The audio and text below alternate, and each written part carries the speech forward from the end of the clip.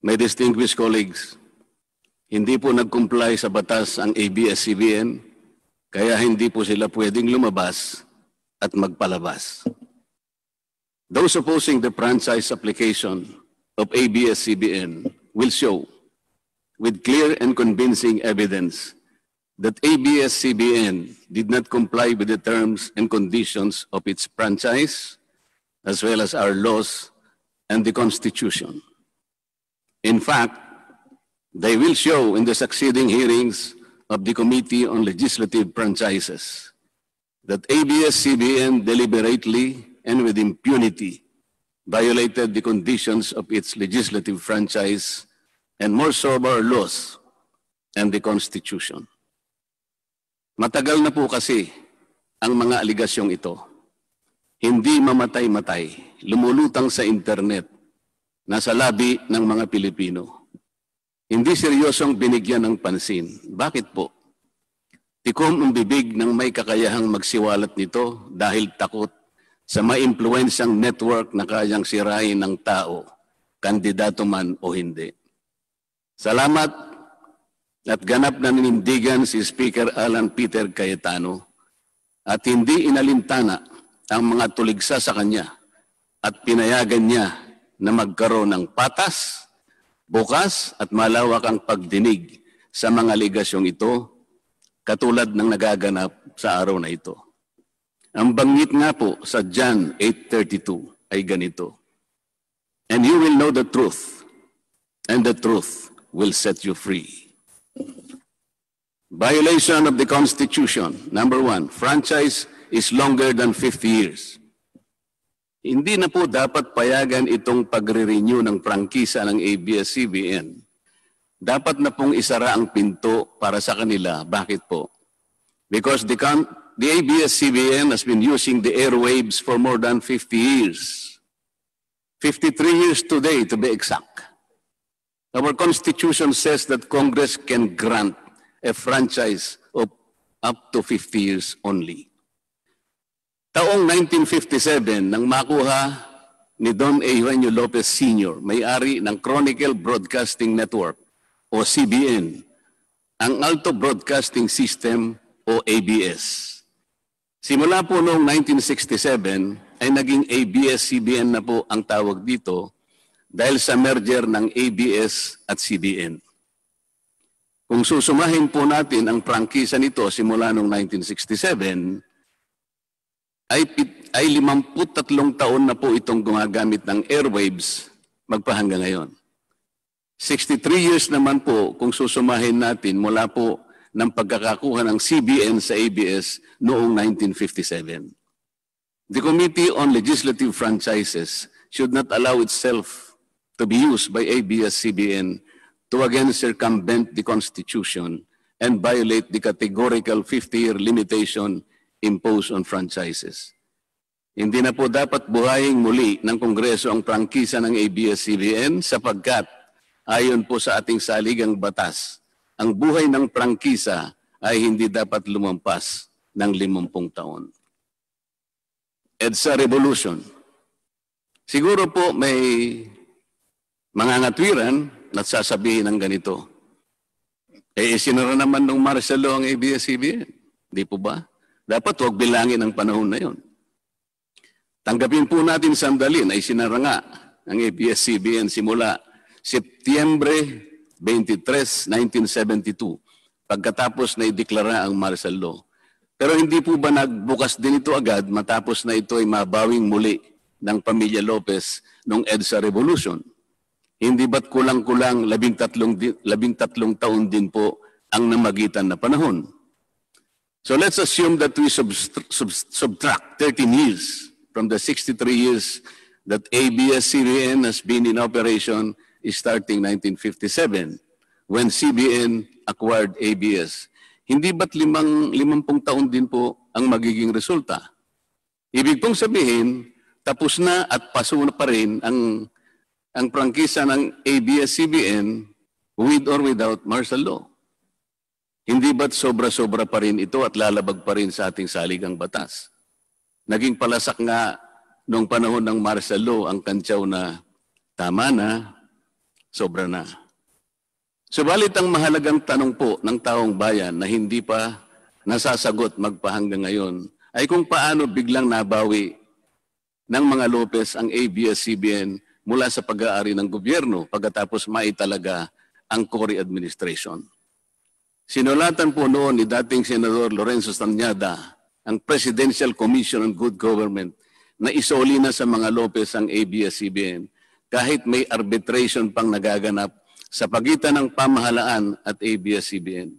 Na i-turn over po agad ang istasyon ng ABS-CBN sa mga Lopez sa kabila ng wala pang pagtukoy sa tunay na pagmimayari nito ayon sa kautusan sa Board of Administrators na binuo sa Letter of Instruction number 1 ni Panguling ni Pangulong Cory Aquino. Sa ngayon po ay wala man lang mailabas na papeles tungkol dito ang PCGG. Nagbayad po ba ang ABS-CBN sa Administrasyong Cory Aquino? Nag-public bidding po ba? Bakit tila ura-urada at habang magulo pa ang lahat dahil katatapos lang ng EDSA Revolution, ay biglang napasakamay na muli ng mga Lopez ang ABS-CBN. Nakabatay po ba ito sa batas? Hindi po ba dapat sagutin ng ABS-CBN ang mga tanong na ito upang mapanagot po ang dapat na managot kung meron man? Foreign ownership. Puntahan naman po natin ang muling pagbubukas ng ABS-CBN noong 1986. Pati po kasi noong panahon yun, ay may paglabag na rin sa ating saligang batas. Ano po kaya yon? Dahil Amerikano at hindi Pilipino ang may-ari at namahala sa ABS-CBN, na mariing ipinagbabawal ang saligang batas. Congress should deny the franchise application of ABS-CBN for its clear violation of the Constitution, requiring 100% Filipino ownership and management of mass media companies. ABS-CBN's former president, Mr. Eugenio Gabi Lopez III, was an American citizen when he took the helm of the company in 1986 as director, then president, and then chairman in the later years. It was only in 2000 that he petitioned for recognition of Filipino citizenship and was issued a certificate of recognition as a Filipino citizen in 2002. At kahit sabihin po natin wala na ngayon sa management ng ABS-CBN si Ginoong Gabi Lopez, nagpatuloy pa rin ba sa paglabag sa saligang batas ang ABS-CBN? Opo. Dahil magpahangga ngayon ay nagbebenta pa po sila sa mga banyaga, mga hindi Pilipino, ng pag-aari o ownership rights ng ABS-CBN. Through an intricate web or of corporate layering, ABS-CBN lets non-Filipinos to own its common shares through the issuance of Philippine Depositary Receipts o PDRs. In September 1999, the ABS-CBN Holdings Corporation offered 132 million Philippine Depositary Receipts underlying the 132 million common shares of ABS-CBN Immediately prior to the closing of the PDR's offering, Lopez Incorporated, the main stockholder of ABS-CBN Corporation, transferred 132 million ABS-CBN shares to ABS-CBN Holding Corporation, its alter ego. With the many rights afforded to the holders of these PDRs, most of whom, if not all, are foreigners, ABS-CBN Corporation virtually allowed these foreign holders beneficial ownership and potential voting rights. This is a circumvention of the strict foreign equity restriction imposed by the Constitution on mass media companies. Quite obviously, the ABS-CBN PDR instrument, a creative financial mechanism, is being used as a subterfuge to indirectly own the underlying ABS-CBN shares of stock violation of workers' rights under the Constitution. ABS-CBN violated the rights of its own workers. It denied them their just share in production as required by the Constitution. It committed unfair labor practices, which consequently denied its employees the benefits required by law to be provided to all employees. Isang halimbawa po dito ay ang asunto na isinampa ng halos isang daan o mahigit sa isang daang manggagawa ng ABS-CBN sa National Labor Relations Commission o NLRC dahil sa pagtanggal sa kanila dahil sila raw ay mga talents lamang at hindi mga regular na empleyado. Nanalo po ang mga manggagawa sa NLRC at maging sa Court of Appeals. Bakit hindi na lang nila sinunod ang hatol at umapila pa ang ABS-CBN sa Korte Suprema? Ito ba yung sinasabi po kanina sa opening salvo na ang pagmamahal sa kanilang kapamilya ay ganun na lamang? Mali naman po yata na sabihin ng ABS-CBN na lampas sa 11,000 ang mga empleyado nito dahil kung ito po ay masusi nating iimbestigahan, may 2,600 at anim na po at isa lamang 2,661 ang mga regular na empleyado nito. Ang karamihan po o mahigit na 8,500 na kawani ng ABS-CBN ay tinagurian nilang independent contractors or talents, project workers at contractuals lamang kahit na pang-regular na empleyo ang trabaho nila. Ayon po sa ating labor code, kapag pang-regular ang tungkulin ng isang manggagawa, dapat siyang gawing regular employee. Hindi dapat contractual. Hindi dapat independent contractor, talent, o kaya project worker lang. Malinaw na labag sa batas ang ginagawa ng ABS-CBN. Sana ay ibalita rin po ito ng TV Patrol upang mabunyag ang libo-libong endo sa kanilang bakuran. ABS-CBN has not regularized its contractual workers and talents despite performing the functions of regular workers. It even forced some of its workers to sign employment contracts containing waiver of the right to regularization. And those who refuse were unceremoniously terminated from work. ABS-CBN has sub subcontracted most of its production work to subcontractor production companies, despite the fact that production is directly related to its core business. These production entities are paid minimally, whose workers obviously get lesser benefits and take-home pay compared to ABS-CBN's regular employees. And yet, the profit generated by ABS-CBN from its independent production companies appear greater than its expenses, especially those expenses that are even deductible for income tax purposes. Kung kaya't hindi po may kakaila sa publiko na napakarami ng labor cases na hinarap at haharapin pa ng ABS-CBN. Ang masaklap pa po dito ni hindi nagbibigay ng contribution ang ABS-CBN para sa benepisyo ng kanilang mga empleyado.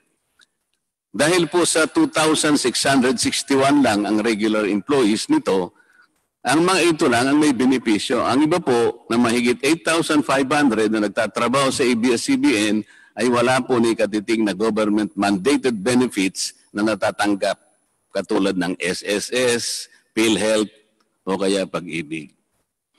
Kanina po sa opening salvo, narinig po natin na ang kanila pong isinasangkalan ay yung kanila pong mga kawani, mga manggagawa ang kongreso pong ito ay nakikidalamhati. Nalulungkot din po. Bakit naman po hindi?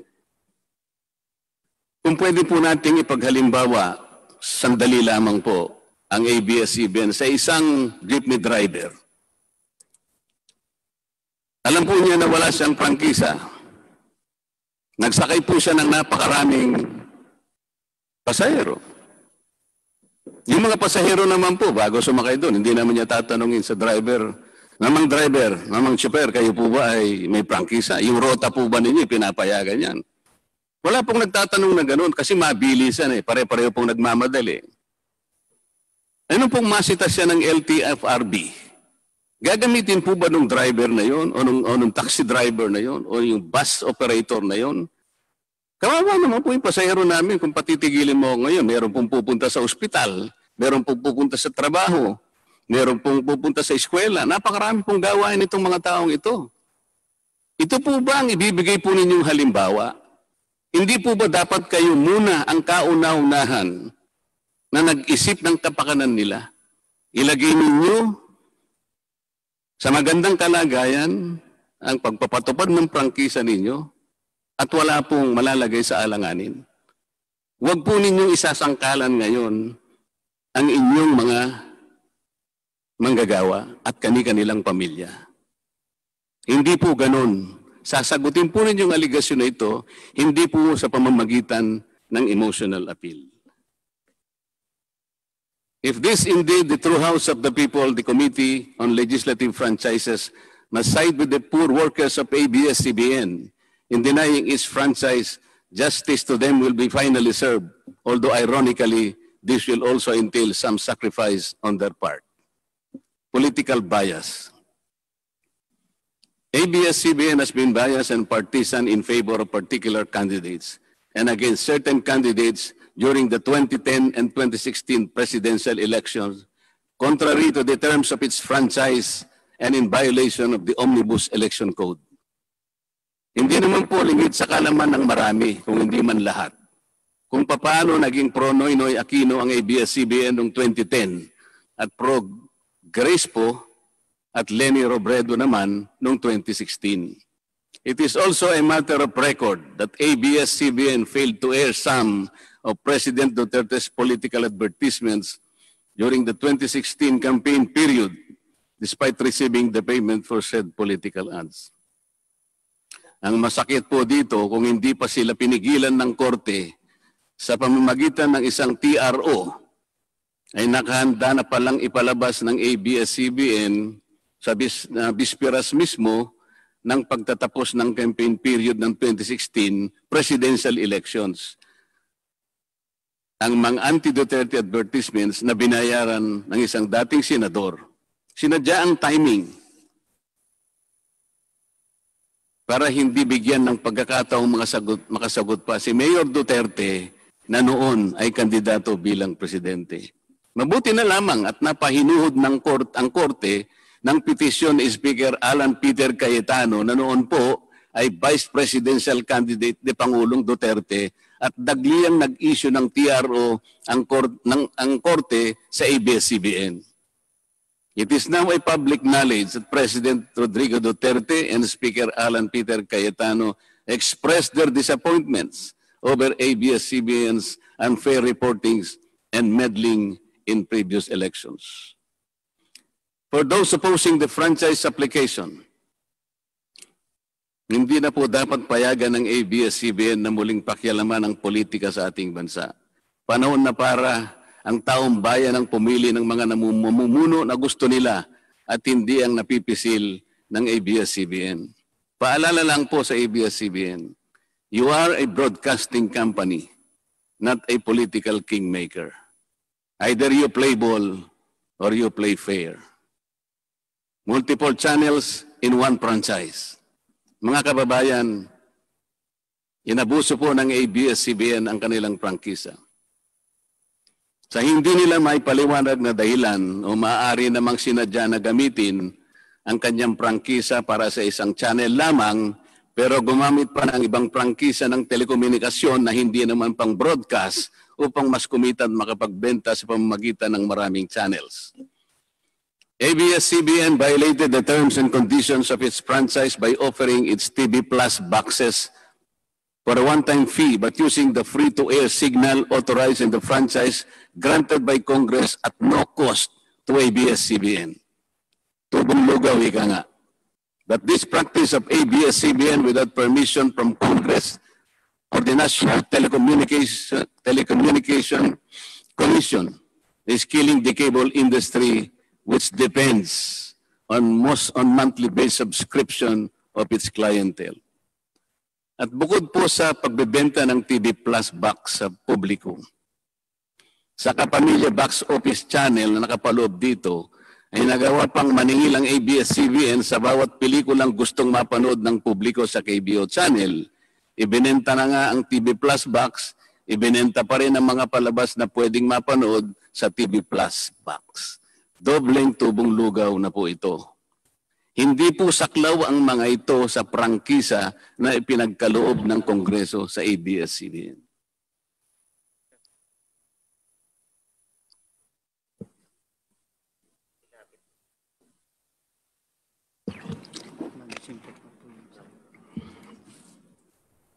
ABS-CBN, contrary to the terms and conditions of its franchise, operated this pay-per-view channel, otherwise known as the Capimilla Tax Office or KBO, without a valid permit from the NTC.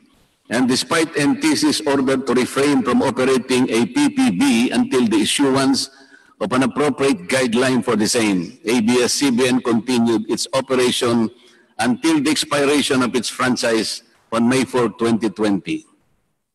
Tax evasion. ABS-CBN also violated the terms and conditions of its franchise by engaging in tax avoidance schemes, which deprived the government of the much-needed revenue. It used its wholly owned subsidiary, Big Dipper Digital Content and Design, Inc., a PESA-registered company, as tax shield. Its main customer is ABS-CBN Hungary. And because of this unconscionable tax avoidance scheme, ABS-CBN alleged effective tax rate in 2018 was at negative 5%. This means that ABS-CBN managed to avoid paying taxes in 2018. Bakit po ang GMA7 na hindi naman kasing laki o kasing yaman ng ABS-CBN ay nakapagbayad ng buwis sa pamahalaan ng 1.6 billion pesos noong 2018? Samantalang ang malaalamat na ABS-CBN ay walang binayarang buwis. Bakit naman nakalibre ang ABS-CBN noong 2018 sa negative income tax nila na 84 million? Ibig sabihin po nito ay may tax credit pa ang ABS-CBN at ang gobyerno pa ang lumalabas na may utang dito. Wala pong pagkakaiba ito mga kababayan sa isang taong nangutang sa tindahan, binigyan pa ito ng sukli. In 2019, ABS-CBN again did not pay its rightful taxes. It avoided this by entering into compromise agreement with the Bureau of Internal Revenue, with the latter accepting the settlement of 152 million pesos plus plus from ABS-CBN equivalent to only 40% of its assessed deficiency in income tax, value-added tax, and documentary stamp tax payments. But this is only one among the four other cases lodged by the BIR at the Court of Tax Appeals, all of which were also settled by compromise. Bakit po ganun? Hindi po ba nando sa prangkisa ng ABS-CBN nababayaran nila lahat ang rightful taxes? Kinakailangan po bang sila ay habla pa ng BIR bago sila mapilitang makapagbayad lamang kahit sa settlement lamang? Ang, li- ang linaw po ng kanilang prangkisa, nababayaran lahat ang kaukulang buwis. Bakit kailangan pong sila ihabla at idemanda pa ng BIR para lamang sila ay makapagbayad? There are also allegations to date that ABS-CBN's Lingkod Kapamilya Foundation, ALKFI, is being used as ABS-CBN as tax shield and that ALKFI also failed to file donor's tax return and pay the donor's tax. Ito po ang mas nakalulungkot dito, mga kababayan. Kapag politiko o government official ang nagkawang gawa, epal ang tawag dito ng ABS-CBN. Kahit mula pa sa sariling bulsa ng politiko, ang pinanggalingan ito. Pero kapag ito ay galing sa lingkod kapamilya, puro pangalan ng ABS-CBN ang kanilang pinangangalandakan, katulad po ng nakita natin ngayon. Alam naman natin na galing naman sa lahat sa mga donors ang pondo na ginamit nila. Meron po kayang nanggaling sa yaman ng ABS-CBN. Di baling ang pantulong ng ABS-CBN ay galing sa donasyon ng ibang tao. Di baling ang perang pantulong ay mula sa tax avoidance ng kumpanya. Ang mahalaga ay mapalabas nila sa pamamagitan ng nap- sa mamamayan, katulad po ng nakita natin ngayon na napakabuti at napakabait ng ABS-CBN. Kami po ay naniniwala na unti-unti na pong nabubuksan ang katotohanan sa ating mga mamamayan. Hindi po ba mas maganda at katanggap-tanggap na tumulong sa kapwa ng walang nawa, nabanalabag na batas at buong sikap pang nasusunod ang prangkisa? Dahil po ba kayo ay nakapagdudulot ng saya, ng aliw sa ating mga mamamayan? Dahil po ba kayo ay nakapagbibigay ng inspirasyon, ng pag-asa, ng katatagan ng loob na kagaya po sa opening salvo kanina ng representative ng ABS-CBN? Hindi na po ba natin susundin o tutuparin, isasaalang-alang ang ating mga batas, ang ating saligang batas, o kaya ang prangkisa ninyo? Makakapagpasaya naman po tayo. Eh. Makakapag-inspire po tayo. Nang hindi po tayo lumalabag sa batas. The House of Representatives should endeavor not to grant the franchise application of ABS-CBN because it has deliberately floated the Constitution and other related laws. Even the terms and conditions of its previous franchise to suit, to suit its own business and political interest, but to the prejudice of the greater good.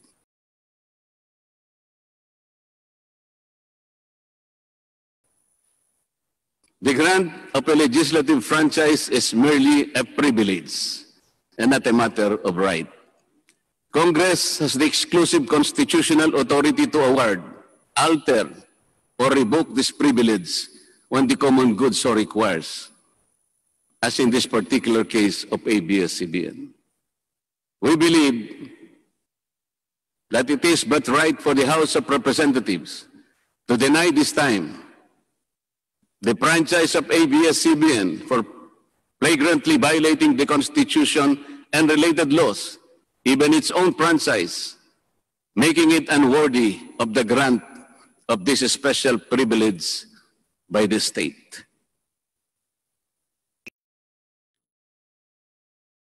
Alam mo kung sino lang ang pinakamatinding magiging kalaban ni, ni, ni, ni Cardo? Sino? Nako, kabahan ka kay Car si Cardo. Ang pinakakalaban ni Cardo. Sino? Si, feeling ko si, si, si Kiboloy. yung nagpahinto ng lindol. Si Kiboloy lang ang magpapahinto ng probinsyano. Abangan nyo yan. Oo. so ano, hinahamon kita Kiboloy, pahinto mo nga ang probinsyano. Napahinto mo pala ang ano eh, lindol eh. Apakayabang niyo pala eh. Sabi niya daw, stop. Sige nga, punta kang gitna ng ano, EDSA, stop mo yung traffic doon. stop.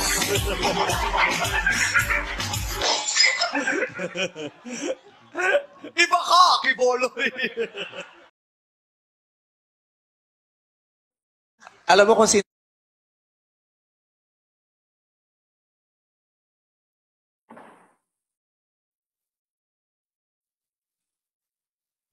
Kailan mo ba gustong mapa-stop ang probinsyano?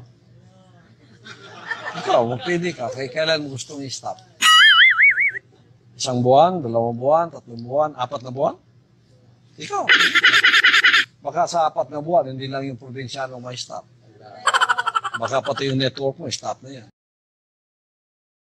Mr. Speaker, ABS-CBN posed the challenge. Obviously, the challenge was accepted. There is no reason to complain. Maraming salamat po.